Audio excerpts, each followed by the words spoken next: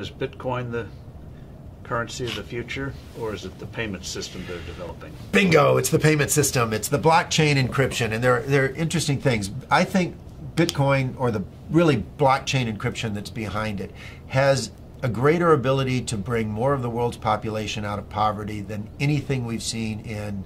Well, for one thing, it's a cheap payment system. For one thing, it's a cheap payment system, but it's more important than that. It's more important than that. Blockchain cryptography is all about digital transfer of ownership in a completely transparent and public way. Okay, I don't want to go into any of the math and the and the complexity behind it. But think of what that means. That means that I can actually record ownership in the in public in a digital means. 50% of the world's population has a mobile phone.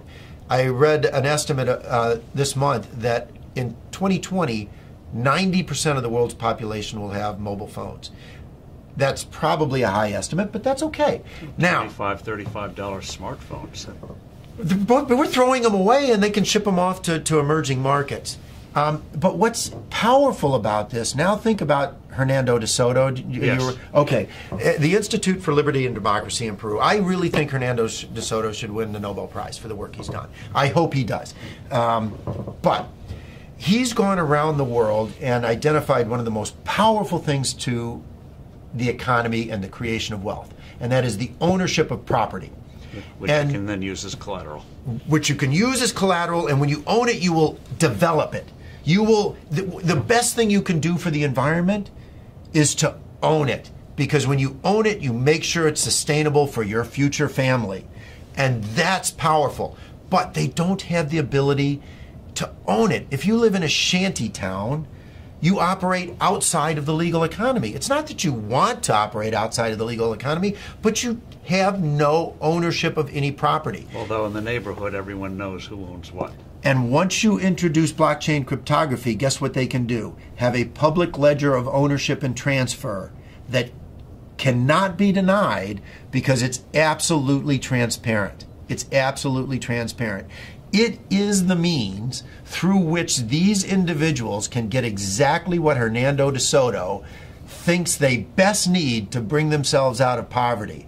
It is so much more profound than that, but at its very basis, it has the ability to give these individuals the right of ownership to property. And that has more than anything else the ability to bring them out of poverty and I can't wait. It'll be adopted elsewhere. I mean, it's such a powerful blockchain encryption is is such a powerful tool.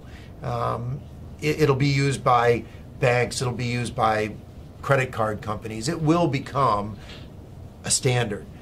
But what's more interesting is is what it can do to poverty around the world to eliminate poverty. But also, what does that mean? That technology mean for credit card companies and uh, the whole payment system crazy gobbledygook payment system we have today very expensive. Doesn't that blow it away?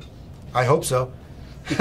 I hope so. I mean, think PayPal. about it. When there was when there was uh, one manufacturer of phones in the U.S., the U.S. government, what did we have? This big clunky rotary thing that sat on on desks.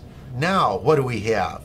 Cell phones of all flavors, sizes, I, can sit in Africa and on my cell phone take courses at MIT because they're public record. It's absolutely astounding what happens when you can actually innovate uh, around the world and compete.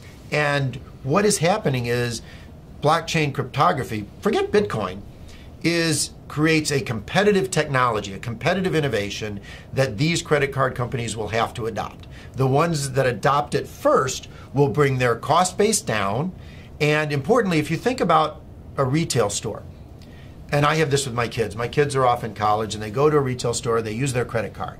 And the credit card company costs the retailer three to six. Right, because they reject the tra- well, first the fee is is high, and then they reject the transaction. Because why is this card suddenly showing up in some city, some place where I don't live?